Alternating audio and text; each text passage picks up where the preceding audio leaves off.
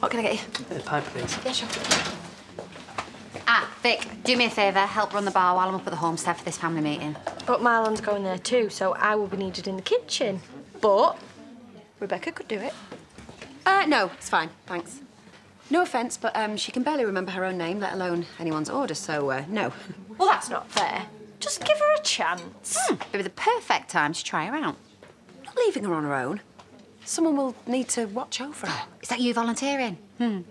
OK, fine. Don't say I didn't warn you. Good luck, Bex. I'll just go and sort out the meals. Thank you so much for giving me a chance. Why don't you come round the bar and I'll show you the ropes? Just do me a favour. Don't prove her right. Hey, give us a pint, will you? Aren't you a sight for sore eyes? I need your help, actually.